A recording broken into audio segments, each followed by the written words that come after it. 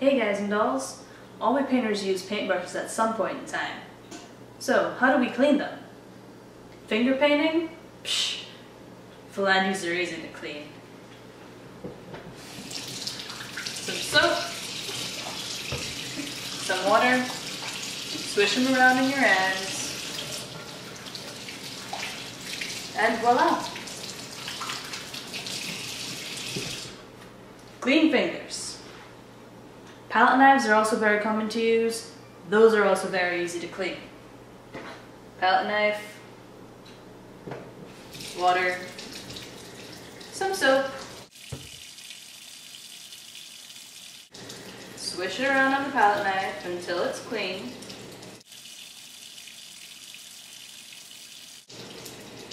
Rinse. Well, clean palette knife. But for those of us who like paintbrushes, learning to wash them is very important so that you can keep them for as long as possible. Now, some of you may have your favorite technique of how to clean paintbrushes. I have mine, so that's what I'm going to show you. I'm also going to show you how to shape your paintbrushes afterwards. To get down to business, you need paper towel or cloth, dirty paintbrushes, bar soap, and liquid soap. It is best to get as much paint out, out of the brush as you can before you start washing it because you don't want to wash the paint into the paintbrush, you want to wash it out of the paintbrush. So your fingers work well for rinsing. So you'll turn on the water, use warm or tepid water, not hot water because hot water messes with your bristles. So you're going to put your brush into the water and use your fingers to clean them.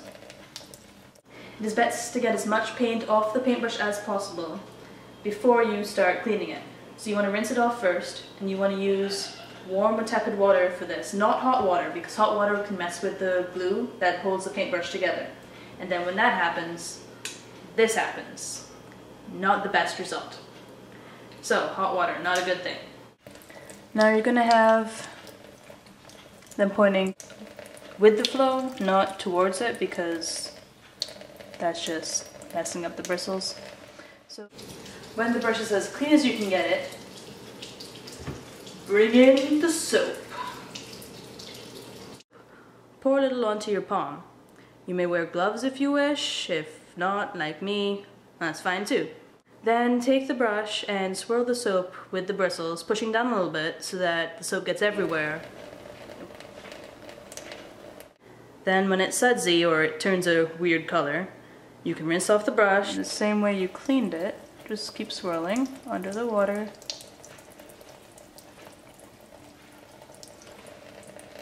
Then just for safety's sake, one more. So a little bit of soap, you can do it again. If the soap turns a weird color, you can do this twice, three times. If it's just sudsy, that's fine, your brush is clean. Okay, that's fine. So we'll try it with the bar soap this time. Same thing if you're using bar soap. You take the bar of soap, make it a little bit wet. Get some soap on it. And then swirl it around on your palm. It's not getting too sudsy, that's okay. But it's not turning color, so that means it's clean. So you rinse it off.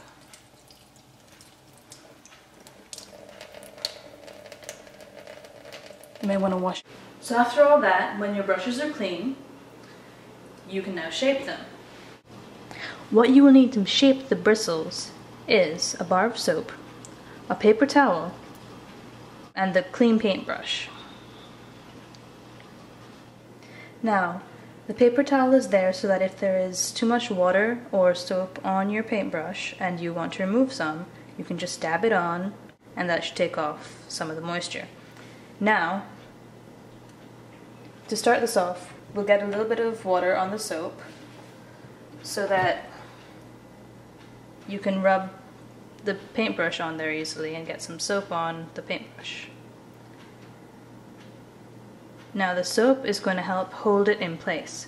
So when you get the soap on there, you're going to take your fingers and mold it into the shape you want. Now this paintbrush originally had that really nice point at the end. So what I'm doing is I'm molding it into that nice point that I wanted. I'm gonna dab it on here because I think it has a little bit too much so soap on there. But other than that, it's really easy and that's how you make it hold. And when it dries, it's gonna be like a brand new paintbrush. So there we have it. Then after that you have some clean, shapely brushes to use for next time. Thank you for watching. Enjoy your day.